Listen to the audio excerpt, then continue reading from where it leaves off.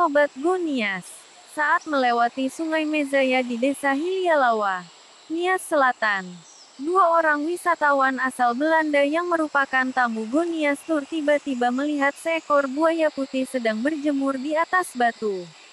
Tidak menunggu waktu lama, kedua wisatawan tersebut turun dari mobil dan berjalan menyusuri tepi sungai yang tidak jauh dari buaya tersebut.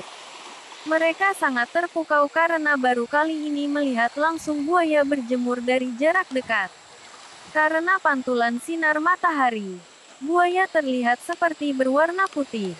Di kejauhan juga suara monyet bersahut-sahutan. Ini bisa menjadi daya tarik wisata di sungai ini loh. Biasanya kemunculan buaya ini di siang hari saat panas terik atau juga sore hari. Beberapa kali admin lewat namun tidak bertemu. Hari ini baru beruntung bertemu lagi. Lokasi berjemurnya juga pindah-pindah. Kadang di batu tengah sungai, kadang juga di muara. Tetapi hari ini dia lagi berjemur di atas batu di pinggir sungai.